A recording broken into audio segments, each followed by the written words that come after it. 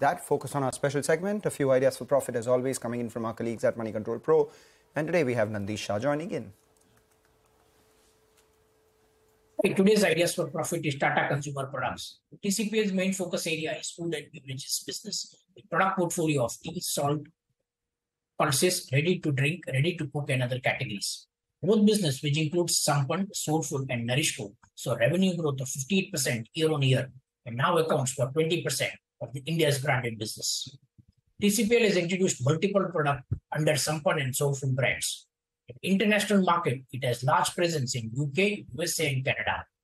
Despite dismal constant currency revenue growth rate in June, we saw market share gains in UK and Canada in the tea segment.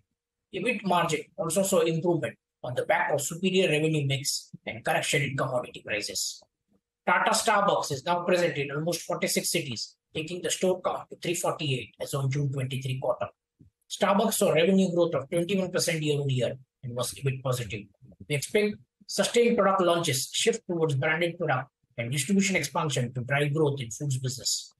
TCPL is strengthening its distribution reach with a current reach of around 3.9 million outlets and targets 4 million outlets by September 23. It has initiated split route for salesmen in 1 million plus population towns. In addition, TCPL is investing in direct distribution in smaller towns. We remain positive on TCPL and investors expecting moderate return can add and accumulate with a longer term view.